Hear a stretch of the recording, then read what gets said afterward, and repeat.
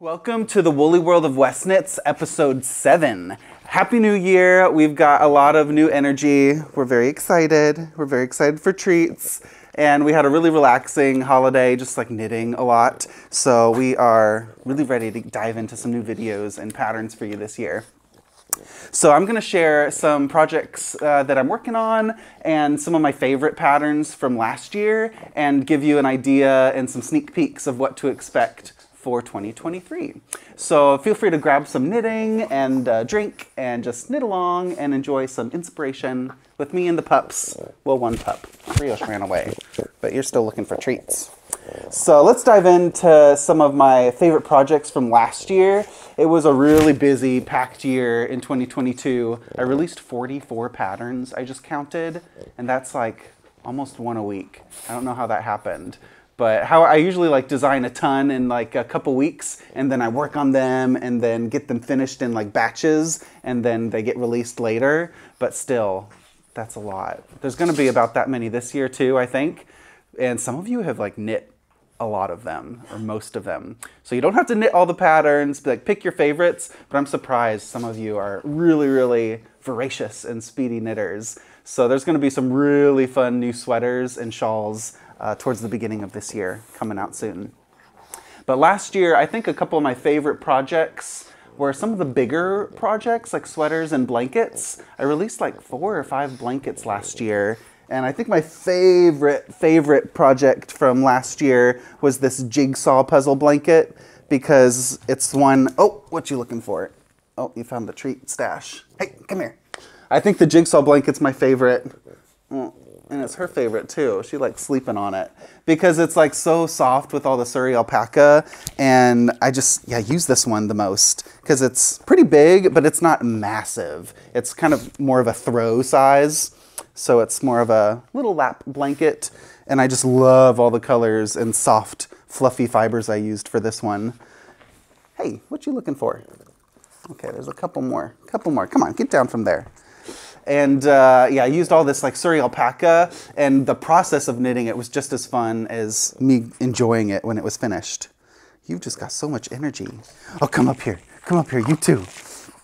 So I think that's my favorite blanket, and I'm gonna do some more modular projects. I've been working on a modular shawl, so if you really like this kind of puzzle piece type of knitting, where you're knitting a chunk at a time and attaching the sections, I'm working on another shawl with this construction method that's coming out in February. So there's going to be a lot more cool color blocked designs coming this year. But Jigsaw Puzzle Blanket, I think, yeah, this is, I think this is my number one favorite from 2022. Yeah, I really love, love using this one. I think my favorite shawl from last year are, is the Aurora Cabin, which a lot of you are knitting on right now. So the Hiberknitalong just started on December 26th. So we're gonna officially knit along throughout the whole month of January. And on February 1st, I'm going to uh, give out some surprise prizes to some random winners. So if you share your progress of the Aurora Cabin shawl with hashtag HCAL2022, or hashtag Aurora Cabin Shawl. I'll be picking some winners from those on Instagram, and I'll be picking some winners if you just post any of your progress of this shawl in the Ravelry group. So I'll link to the Ravelry group down below. So if you want to add your progress of this shawl, even if you don't finish, just add pictures of your colors and your progress as you're knitting throughout January. And on February 1st, I'll pick some pattern and yarn prize winners. And we'll have some fun knitting along in January. There's already some people that have gotten to this slip stitch section, and that's my favorite bit of this shawl with the five colors mixing together. And there's some really cool color combinations to check out. And that's always my favorite part about these knit alongs is seeing what colors you choose, and I'm getting different color ideas, seeing combinations that I never would have thought to put together. So that's what I love about these multicolor five color shawls. It's totally different. Even if you use the same colors, but in a different color arrangement, it looks like a different shawl. So I'm getting really inspired by your neutral versions, your ColourPop versions, and yeah, throughout January, we'll knit this big shawl. And I think, yeah, this was the last shawl I released. Was it? I think so. Last shawl I released last year, and I think it was my favorite. I saved the best for last. So much fun, and I think you're gonna see a little bit more of this stitch pattern coming in another type of design later. Maybe here, we'll see. So later this year, I'm gonna play a little bit more with that stitch pattern for you. So maybe you can have a matching sweater or something to your shawl. How does that sound? So that's my favorite shawl, got my favorite blanket. My favorite sweater is the one I'm wearing. We did the Dustland sweater. This is another stitch family with all these simple solid textures. And I want to play more with this texture as well. I think a cardigan or jacket drapey thing would be really fun with these textures. But I love knitting this simple textured uh, pullover because it was you know, more relaxing. I find that the more I knit, I fall into these categories of knitting. Do you feel the same that like you have different cravings for if you want something more simple, then you'll just work with one color. If you want something kind of quick, you don't have to focus on as much. You have your portable socks to work on. So I feel like I'm just adding to the categories of knitting how you're feeling. And sometimes that's really mindless. Or sometimes you need that excitement in your knitting with like all the colors and con different construction details. So I feel like I'm expanding those categories for myself. And I've got my solid sweaters now. I haven't made a solid sweater in a really long time, but last year I made a couple solid sweaters. So I do like how mindless those are. And I've got my exciting modular marled for all those stash busty colors. And then the sock category is a new one that I'm gonna keep going with this year. I've, I made, I think it was towards the end of last year, like in the end of summer and fall, I got really into socks and I've just been nonstop making socks uh, since then because I find that they're really good in between projects. So I can just cast one on and always have it on the go so that when I'm getting tired of a pattern or when I finish a bigger project, I have something already to keep my fingers busy because the worst knitting feeling for me, besides knitting a sweater that doesn't fit or felting a sweater, which still happens. Besides like ruining a project that you've worked on, the worst feeling for me is finishing a project and you have that like sadness of you loved working on it and now it's done. And usually for me, there's like this gap of like two or three days where I try to cast on things or I'm working on things and I just like hate everything that I start. I think because I'm trying to like force something to be just as good and exciting as that last project. So maybe that's one of my goals for this year is to just allow that time to happen, not to force it not to be there, but whenever you finish that really fun project, just allow yourself to, you know, it's okay if you're not super inspired for a few days or you're not loving your knitting for a little bit in between those big projects, but to maybe like take a break or to always have that sock that you don't have to focus on, you don't have to think about. You can just pick it up and go and then let that next project come to you rather than force it. Because, yeah, sometimes when you force a project to happen or you force yourself to work with certain types of colors or something, you just end up not loving that project and you waste time working on it. So I'm just going to let that space happen between those big, exciting projects and just allow the next one to come rather than force it to come. That sounds like a good 2023. Not a goal, but just a let it be type of mentality with your knitting. Stitchy. What are you thinking? You're not in the let it be mentality. She's in the give me more treats mentality. So those are my favorites. I got my blanket, shawl, sweater, and then socks. This year is going to be the year of socks for me. I spent all fall and winter designing sock after sock after sock, knitting socks, coming up with different stitch patterns, and recycling some of my shawl and sweater stitches into matching socks. So the Westknits Year of Socks is the name of the ebook. So I put all these together in a collection for you. We'll have 13 patterns. So there's already the Westknits Year of Socks 2023. I'll link to it down below. You can get that ebook on Ravelry and westknits.com and you'll already get the painting brick socks. So this was the first early sock that I put out in December.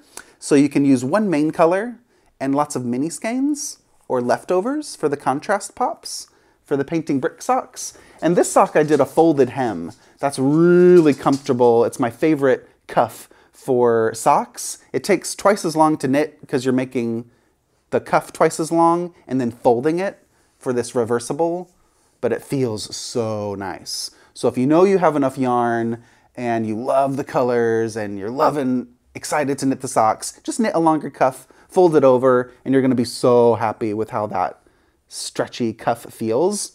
If you don't want that, just knit a regular cuff and do like a German twisted cast on, and then just, yeah, knit a regular cuff, and that's fine. But try the hem because I'm so happy with wearing these. They're really comfortable around the leg. So this is the first sock, and then the January sock is this cabled trellis sock. This was the knit along from a couple years ago. So I used this traveling cabled slip stitch. You're only working with one color at a time and you're slipping and cabling. And I used a self-striping marled yarn from Spin Cycle for, I used one skein of that Spin Cycle yarn and one skein of La Bien-Aimée.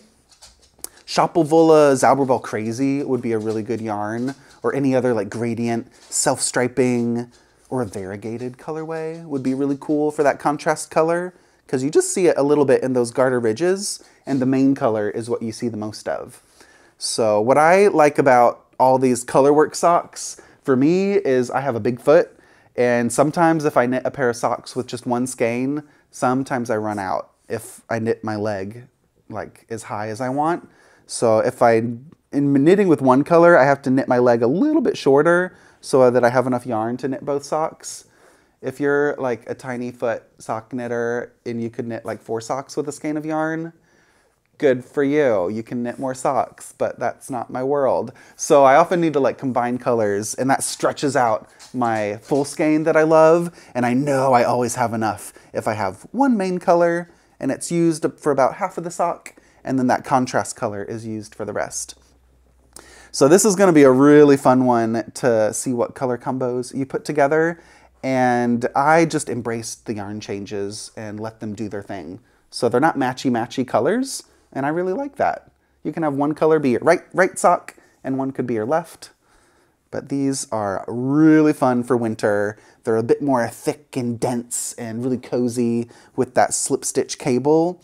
And I just love the structure that gives. They're like really solid socks, a little bit less drapey, like stockinette or garter stitch socks. They have this really beautiful, a little bit more firm structure, and I love how they feel and hug the foot. So my trick for making all these socks, these are the first two in the Westknits Year of Socks ebook. My trick for making them is I always select a size that's smaller than my actual foot, and that's a key for helping them fit nicely. You want a nice snug fit, because the more you wear a sock, if you if you make a sock that's like nine inches circumference and your foot is also nine inches circumference, it's gonna stretch out a little bit over time and it's gonna, become a sloppy sock. And I've knit some of those and they just feel, ugh, these limp, so sloppy socks on your foot. It doesn't feel nice. You want it to like hug the foot and keep it really cozy and yeah, cozy and warm. And it's gonna stretch out a little over time. So I always knit a sock that's at least one inch, sometimes even like one and a half or two inches, which is two and a half centimeters to four centimeters smaller than my actual foot, okay? So measure your foot. If you're like, oh, my foot is eight inches, it's like 20 centimeters or whatever, then knit a sock that's 18 centimeters or like seven inches or something. So yeah, basically choose a size sock that's smaller than your actual foot. So it's hugging it. So I'm going to give you a little sneak peek of some of the socks coming this year. So every single month in 2023, we're going to do releases at the beginning of the month for socks. And there'll be still my shawls and sweaters coming out later, later in the months.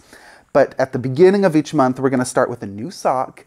And you'll get 13 socks in the ebook. And some of them will be more slip stitches to match your shawls, some solid, really simple socks.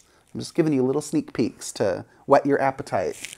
And some new stitch patterns that I've been developing. So there'll be a lot of fun colorwork socks, but some really simple patterns as well.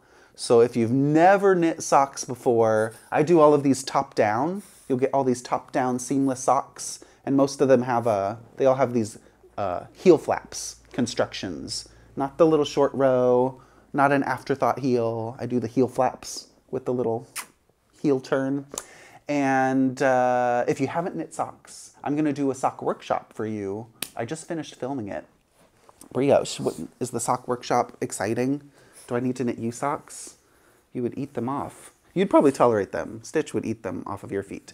But if you've never knit socks, we just finished a film in a workshop, and I'll show you every step of the way how to knit a really simple DK weight sock or a fingering weight sock. And I'll include some recipes, some simple sock recipes for fingering weight sock yarn and a DK weight recipe for that workshop.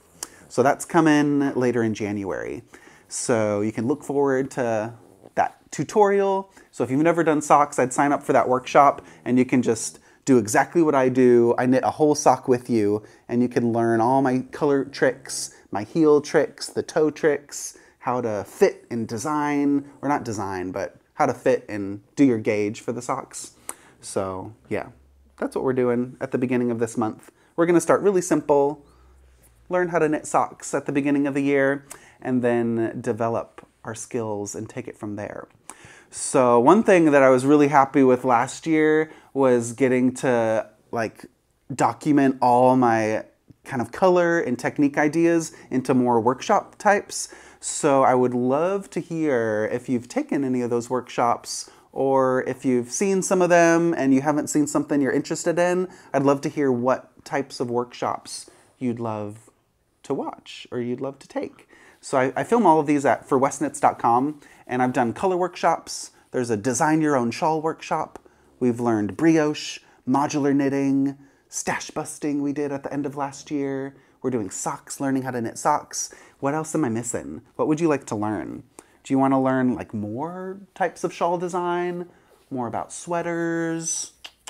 What else? Do you want to like knit dog sweaters with me in a workshop or something? I don't know. Is there any other technique? So let me know in the comments down below what kind of workshops. Uh, they'll all be online workshops. So which ones, what do you want to see me teach? Maybe there's something I even haven't done and I could learn something and then teach you what I've learned. And yeah, we'll see. Yeah, it's going to be a fun year of learning. So I hope you'll stick around and uh, enjoy those upcoming workshops. Well, that's what's going on in my world this year. We're starting really simple and cozy, making our socks. There's some sweaters and some shawls I want to make this year for sure, but I'm going to take it easy and just kind of let the ideas come to me. And maybe there'll be some exciting new stitches I haven't tried. So whatever I learn and get inspired by this year, I'll definitely share it with you. There's a lot of patterns, a lot of new sweaters and cardigans I want to make. And we're going to do all of our knit-alongs this year. So if you've done the knit-alongs from last year or you saw them happening and you're like, maybe I want to try that, we're going to do our yarn-along again this summer our Yarn and Pattern Club. We'll do our Mystery Knit Along in the fall, another Hiberknitalong in the winter. So there's going to be a lot of epic shawls coming this year. So anything that's new happening in all those knit alongs, I always announce in my Westknits newsletter. So you can sign up for that at westknits.com. And we send a monthly newsletter. So anything new and exciting like knit alongs and workshops, you'll be the first to hear about through those newsletters. And the last thing I wanted to share is I'm working on some donations. I'm putting together a knit pile, some hats and scarves that I'm donating to Knit the Rainbow. And I'm going to share the link to this website, knittherainbow.org, down below. It's an organization based in New York, and they donate a lot of winter garments and accessories to houseless LGBTQIA plus youth, mostly in the New York City area. But they're accepting donations, and I'll put their link down below because they have drop-off centers, and you can donate hats that you've already made, or you could make new hats and scarves, and there's still lots of winter months ahead this year. So all those uh, knit or crochet donations will be distributed to houseless youth. Uh, mostly in New York City area, but they're working on some other cities as well. And they're also working on a lot of programming. Stitch, come here. They're working on a lot of programming for teaching like knitting workshops and stuff to those youth. So check out their website. It's a really good cause and it's something really small that we can do um, by donating. There's an address. I'll include a link to the address where you can donate or send a box of knitted and crocheted goods to. And it's, yeah, something really small we can do, but it's going to have a really big difference in a lot of kids' lives. So check out that link. And uh, if you're unable to donate any items or to donate any money to this group, then spread the word. And if you have a knitting group, maybe you could get a few friends together and each of you get a little scarf or a blanket or a sweater. Hats are re always really great. Get a little box together and ship it on over. So I'll put that link down below, knittherainbow.org. And uh, yeah, I hope you'll join me in uh, spreading the word about this and donating to them. So thanks for watching. We're going to do more of these Woolly Worlds of Westknits this year, and we're going to watch the pups grow. We're going to watch our sweater closets, our sock drawers grow this year. And uh, yeah, there's a lot of fun stuff coming. So thank you for watching, and I'll see you in the next episode. And in the meantime, there's going to be some knitting tutorials and stuff I'm going to share too. So thank you so much for joining my little YouTube world, and I'll see you later. Bye. I'm going to say bye, Brioche. I'm going to wake up. Everybody's here for you. You know that? Yeah. Bye.